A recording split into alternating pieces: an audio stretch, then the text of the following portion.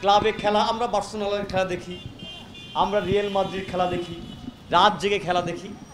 আমাদের দেশের ক্লাবগুলোর, তাদের একসময় খেলা ছিল, তারা একসময় ক্লাবগুলোতে, ক্লাবগুলোর খেলা হতো, সেই খেলা বাংলাদেশের মানুষ উপভোগ করত। আজকের ক্লাবগুলোর কালচারটা কি?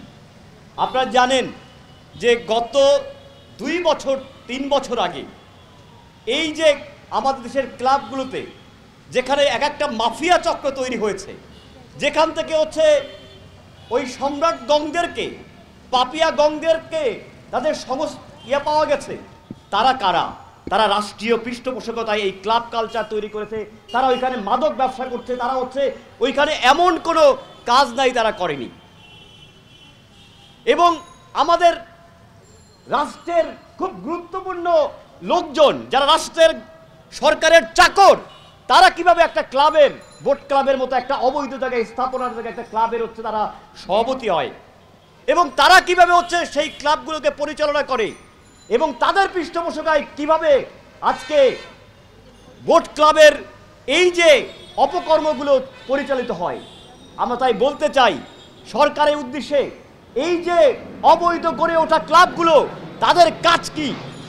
তাদের দায়িত্ব কি ক্লাবগুলোর? তাদের দায়িত্ব কি ছিল মদ বিক্রি করা? নাকি ক্লাবগুলোর দায়িত্ব হওয়া উচিত ছিল হচ্ছে জনগণের জন্য খেলাধুলা আয়োজন করা? মানুষকে বিভিন্ন সামাজিক কাজে আত্মনিয়োগ করার দায়িত্ব ছিল। আজকে তাই আমরা দেখে, দেখতে পাচ্ছি, বোট ক্লাবের ঘটনার পরেই কিন্তু পরিমণির উপরে সবচেয়ে বেশি আক্রান্ত আক্রমণটা হয়েছে। কারণ পরিমণির মাধ্যমেই এই বোট বোট ক্লাবের কি কি ঘটনা ঘটে? আপনারা সাংবাদিক বন্ধুরা, আপনারা কিন্তু সেটা ইতিমধ্যে প্রকাশ করে দিয়েছেন। উপর মহলের মুখোশটা খুলে গেছে।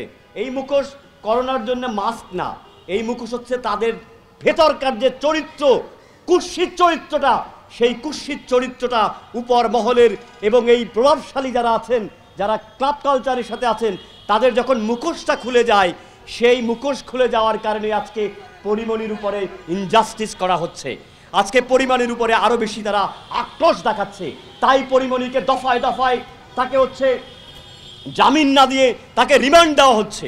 আমরা তাই বলতে চাই, অবিলম্বে পরিমণির মুক্তি দেন, নয়তো রাজপথের আন্দোলন জারি থাকবে আরও বৃহত্তর আন্দোলন হবে।